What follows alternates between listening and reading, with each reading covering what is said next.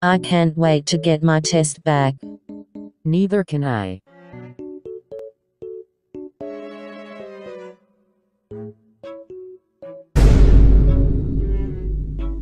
What did you get? I got an A.